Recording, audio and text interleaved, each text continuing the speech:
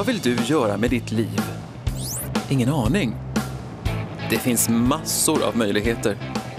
Visst, det är jobbigt att ta första steget från skolan eller högskolan till arbetslivet. Men du behöver bara veta var och hur du ska leta för att få en bra start. Du kanske är som Peter. Hur gick det för honom? Jo, han var 16 när han började söka jobb i sitt eget land. Vad han behövde var information, vägledning, utbildningsmöjligheter och kontakt med arbetsgivare. Det kunde han få med hjälp av privata rekryteringsbyråer och offentliga arbetsförmedlingar. Offentliga arbetsförmedlingar är faktiskt riktigt bra om du letar efter hjälp på nätet, per telefon eller på ett kontor. För i deras nätverk ingår över 5 000 kontor i 31 länder i hela Europa.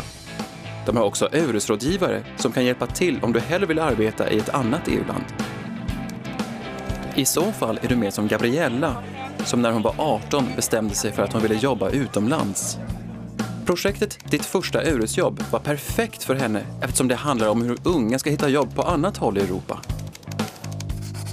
Man matchar de arbetssökandes profiler med lediga platser på företag i andra länder, hjälper dem att fylla i ansökningar, ger intervjutips och så vidare.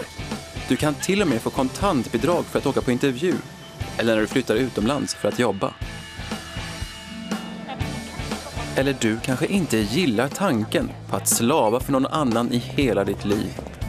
Då är du som Sara, som redan när hon var 17 såg sig som entreprenör och hade fantastiska företagsidéer.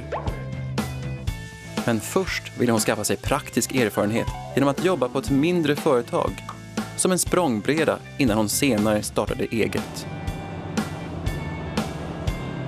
Sara kom i kontakt med några riktigt bra projekt i sitt hemland som också finns i hela Europa. De ger allt möjligt stöd, bland annat kontakt med potentiella arbetsgivare och finansieringsmöjligheter som mikrokrediter. Så tillbaka till dig. Har du blivit mer entusiastisk över alla dina möjligheter? Bra, för den europeiska arbetsmarknaden vill ha din kompetens, dina idéer och din energi. Oavsett bakgrund, erfarenhet och kvalifikationer. Så vad väntar du på? Tveka inte att ta ditt första steg mot framtiden. Ditt första jobb är närmare än du tror.